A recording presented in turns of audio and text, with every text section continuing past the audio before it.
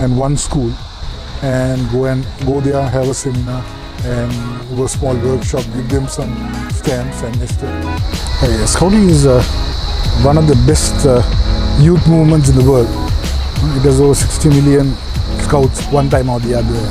And, Philately is a very close connection with the scouting. Yeah. Because I respect, I we honor Sir Rowland Hill and Baden-Powell as a equal character.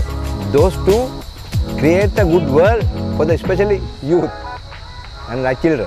So, so what about your thoughts on that uh, opportunity as a diary or